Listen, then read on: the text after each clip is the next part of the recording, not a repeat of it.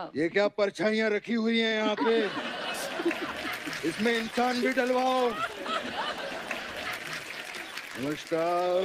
नमस्कार आपकी स्कर्ट लंबी हो गई। इतने साल